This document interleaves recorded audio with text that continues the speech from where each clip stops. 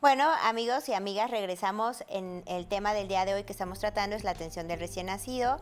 Nos acompaña la doctora Alejandra Monzoy Ventre.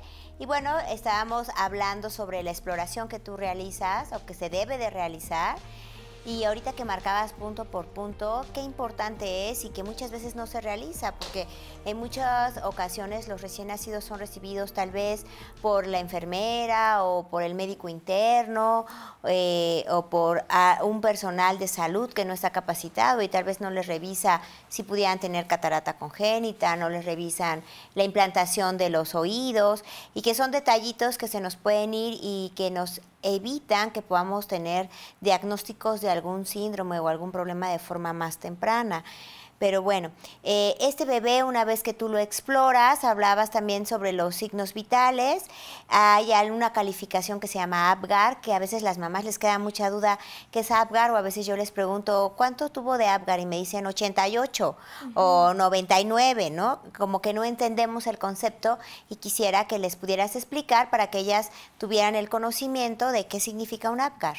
El ADCAR nos va a decir en qué condiciones nació este recién nacido. Se evalúa al minuto y a los cinco minutos, siempre y cuando esta calificación sea mayor de 7. Cuando es menor de 7 o algo, se, se hace hasta los 10, 15 y 20 minutos.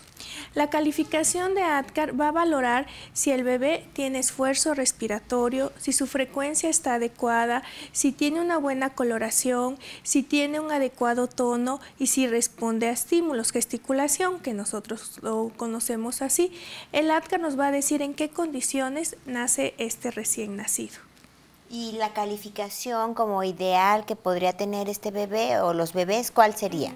Pues sería mayor de 8, de 8 a 10, ¿no? Sería lo ideal. Ajá. Y entonces cuando nos dan dos números, no significa que sea 88, sino significa que fue 8 la primera valoración. Y, y 8 en la segunda, y 8 la, segunda, valoración. 8 en la primera, 9 en la segunda. Ajá. Y, y, tú Tomás, eh, algo bien importante, hay veces que como más quisiéramos que tuvieran 10, 10. ¿Es eso posible? Es muy difícil que presenten 10-10 porque los recién nacidos pueden tener todavía acrocianosis o ligeramente una cianosis. Este eh, acrocianosis es que es como que se vieran moraditas sus uñas o sus, piecitos, o sus piecitos o sus manitas. Es muy difícil que un recién nacido por el periodo de adaptación que tiene de su circulación ya a los 5 minutos esté totalmente rosita, que es la coloración que ya le daría el 10, ¿no? Es muy difícil dar una calificación, ¿no? De 10, a veces nosotros decimos, no, nada más a nuestros hijos les daremos 10, ¿no? Porque es demasiado difícil dar esa calificación. Ok, entonces cuando nos digan tiene 8 o 9, significa que mi bebé nació en buenas condiciones, que se adaptó perfectamente y no tenemos ningún problema. Sí. Bueno, hay otro parámetro también que le llaman capurro. ¿Qué sería el capurro? El capurro nosotros evaluamos la edad gestacional. ¿Qué quiere decir la edad gestacional cuando nos dicen las mamás? Es de término, ya es de 40 semanas, de 38, de 37.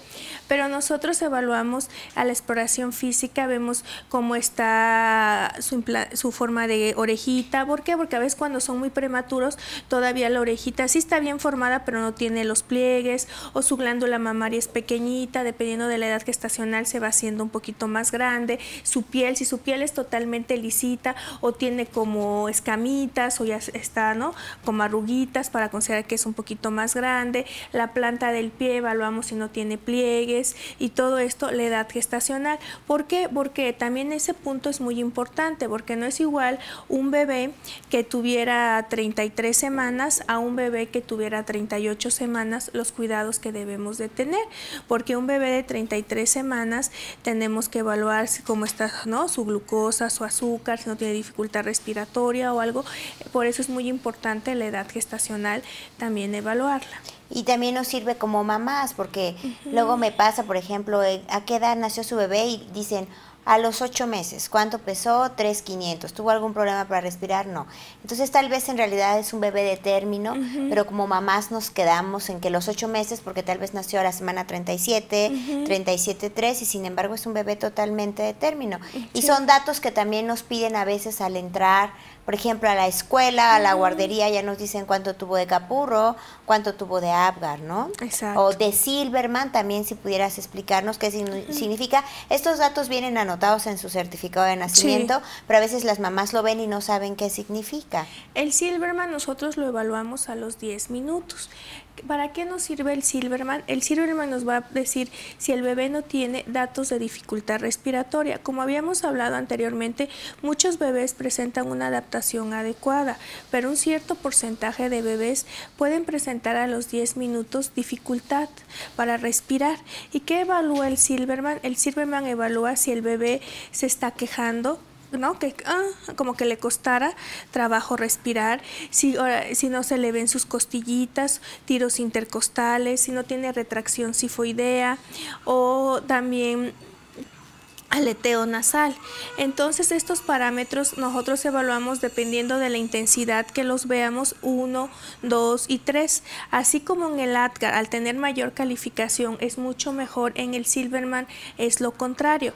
A tener menor calificación quiere decir que no tiene datos de dificultad respiratoria. Y también por qué nos sirve el Silverman, porque dependiendo de la dificultad respiratoria que presente el bebé, nosotros tenemos que evaluar si requiere algún apoyo de oxígeno, si requiere solamente oxígeno a flujo horrible, si requiere algo que nosotros conocemos como una campanita que es un casco o que requiera un CPAP que son unas, como unas puntas nasales o cuando el bebé presenta una dificultad respiratoria importante puede requerir que hasta le pongamos un tubito, intubación endotraqueal para que el bebé oxigene adecuadamente.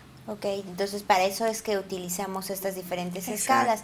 ¿Qué otra rutina realizas durante la atención del recién nacido así inmediato? Ajá. También nosotros tenemos que aplicar vitamina K y clorafenicol y vitamina A. ¿Por qué aplicamos esto? Los recién nacidos no producen en los primeros momentos de vida vitamina K. La vitamina K se produce en el intestino, pero a través de las bacterias. El bebé todavía su intestino no tiene bacterias. Les aplicamos un miligramo intramuscular en la pierna para que se empiece a producir esta vitamina K. ¿Por qué? Si no se aplica esta vitamina K y el bebé no produce, puede ocasionar sangrados en el bebé. ¿Y cómo nos damos cuenta? A veces en las, en las nenas, cuando les ponemos aretitos, siguen sangrando después de los aretes, pero eso es algo leve. Pero hay recién nacidos que al no aplicarle vitamina K pueden producir un sangrado, una hemorragia al nivel cerebral. Y esto puede traer consecuencias a corto y a largo plazo de este recién nacido. ¿Qué otro punto? El clorafenicol. El clorafenicol son unas gotitas que le aplicamos en los ojitos a los recién nacidos, en los cuales es para proteger a través del canal de parto, ¿no? Ahí, ¿no? Flora y todo eso para que no haya conjuntivitis o mm, bacterias, ¿no? Que le puedan afectar en sus ojos. Y la vitamina A, no tanto en el momento del nacimiento, pero sí se debe aplicar después de la primera toma, ¿no? De vía oral para que también le ayude la vitamina A a protegerlo. ¿no? ¿Por qué? Porque eh, se producen defensas en el recién nacido. Entonces son puntos que son sencillos, entre comillas, pero que son sumamente importantes, que no debemos de dejar al recién nacido sin esta atención, porque desafortunadamente pueden tener complicaciones tan severas como lo que decías de, de la hemorragia en su cerebro, ¿no? exactamente. Después de este periodo que tú ya hiciste la exploración, ya hiciste las diferentes valoraciones, ya aplicaste la vitamina K, la vitamina A, el cloranfenicol, ¿qué sigue con este bebé? Después sigue eh, el periodo de adaptación. Es muy importante vigilar este periodo de adaptación que consideramos nosotros las primeras 12 a 16 horas de vida. ¿Por qué? Porque al estar vigilando este periodo de adaptación, nosotros nos podemos dar cuenta si el bebé puede tener alguna complicación posteriormente. ¿Cómo? Un bebé al inicio, ¿no? Debemos de vigilar que no tenga dificultad, ¿no? Para respirar. Otro que coma adecuadamente. Algo muy importante que a veces también a las mamás nos estresa es cuándo va, cuándo va a hacer pipí o cuándo va a hacer popó. En ese momento yo siempre les comento que para hacer pipí puede tardar hasta 24 horas y también para evacuar. ¿No? ¿Por qué? Porque también se está adaptando su intestino también al nivel renal, ¿no? También tenemos que vigilar la temperatura de este recién nacido, porque la temperatura del recién nacido es muy importante, porque si se puede enfriar este bebé, puede ocasionar que este bebé se le baje el azúcar, ¿no? Se le se te ponga dificultad respiratoria solamente por estar frío este recién nacido. Por eso ahorita tampoco siempre nos esperamos un tiempo para bañar al recién nacido, porque no pues, porque luego las mamás no ya que ya lo van a bañar, no. Nos esperamos mínimo de 16 a 24 horas para ver esta vigilancia del periodo de adaptación de todos sus sentidos del recién nacido. Okay. Entonces sigue la vigilancia, sigue este periodo importante, que son como las primeras 24 horas, ver que el bebé orine, que evacúe, que esté, que esté calientito, por eso también es que muchas veces nos los ponen junto a nosotras o en una cunita, pero con, con una lucecita que le dé, que le dé calor. Eh, y vigilar este periodo que puede ser como complicado para él. Eh, ahorita vamos a ir casi a un corte, pero quisiera que regresáramos a hablar un poco de lo que es la lactancia, porque está como muy en boga la lactancia materna, pero de verdad que a las mamás les estresa demasiado. Ellas quieren en el, en el momento estar generando casi litros de leche y empiezan a tomar atoles de todo tipo y cerveza y de todo. Entonces es un punto importante que quisiera que ahorita regresemos de eh, casi del corte y, y nos expliques qué va a pasar con ese bebé, en cuánto tiempo va a comer, es verdad que de forma inmediata se lo tienen que pegar, en cuánto tiempo la mamá va a producir eh, su lechita, podríamos meterle alguna toma o no, de verdad no se recomienda.